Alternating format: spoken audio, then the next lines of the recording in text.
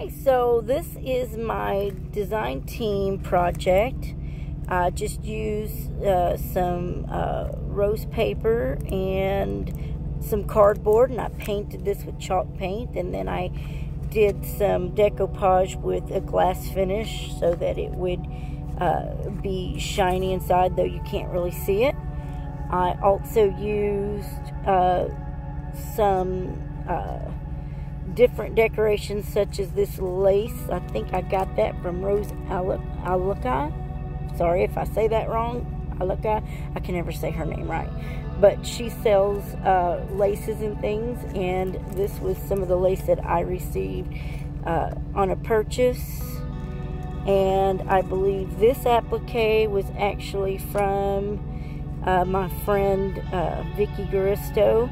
And I'm not sure where I got that bling bling, but I decided to put some buttons on the outside with Paris so that it kind of goes with this uh, old style uh, writing uh, calligraphy or whatever. And I just did some other rice paper that I got from Spectrum Art.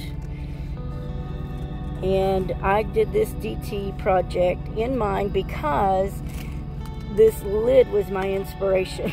And it really was actually the, the design team product that I got from uh, KS for You. And it was actually a, uh, a six inch diameter uh, photo, acrylic photo little, uh, I don't know, they came in a package and it's meant for photos, but you can see it actually has a hole there, if you can see that.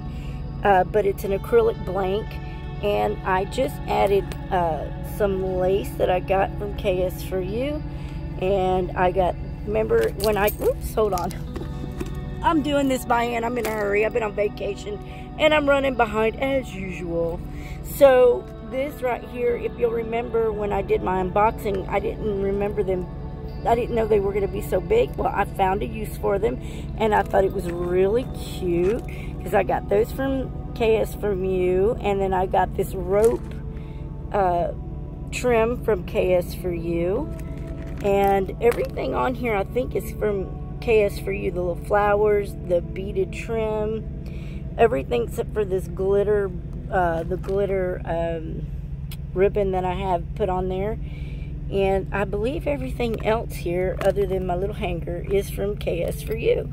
And I told you guys when I did my unboxing, I had an idea of what to do. And I used these little uh, shell, acrylic shell, to give it kind of a um, feathery, peacockish look. But although this is not in peacock mode, but I thought of peacock when I did this. But it's so beautiful.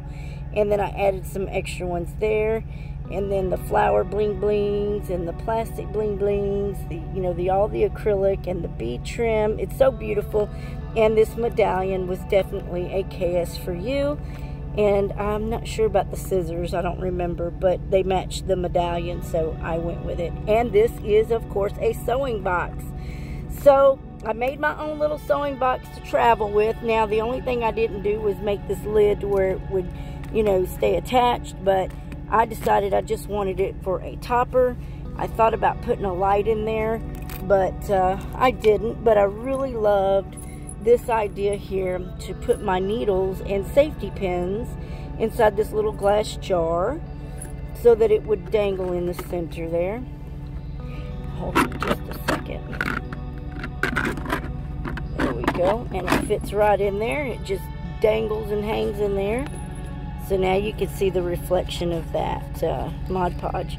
But that was my little lid. This was intentionally going to be the lid at first, but I decided it'd be more cool to have a, a divided area for the materials in the bottom. I actually was going to put the materials in the top.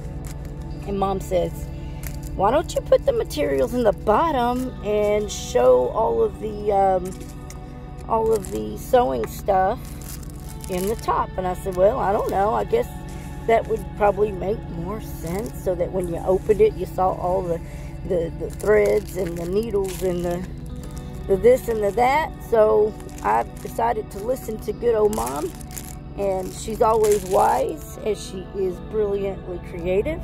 So I decided to listen. So there, now I, I had it all folded up in there, but I just kind of threw it back in there right now.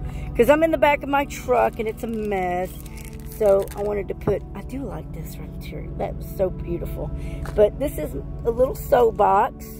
And um, it's done, like I said, with paint, chalk paint, cardboard, and uh, and Mod Podge and a little smell good just because, you know, I like to throw in some smell. And the little topper. So that is my KS4U design team project that I am awful, awful late on. But she knows that I drive and I'm very busy and I went on vacation. So, um, so here it is. This is my fourth design team project. And I guess I'll catch you guys on the flip side, I hope you like it. And as always, my products are for sale. Uh, my creations are also for sale. So if you are interested in this particular uh, little sew box, uh, then you can message me at stefpetis1 at yahoo.com or private message me on my Facebook um, page or just, you know, there's all my links are below. So I hope that you like what I brought you. I hope you like this uh, design team, and I apologize for being in such a hurry, but I'm at work, and I had to get this done, and I just wanted to show y'all. It's so beautiful. Oh, and I did use a black uh, glue stick on here, and then I did the uh, the waxes, the uh, Finnabair waxes, and that is in rose gold.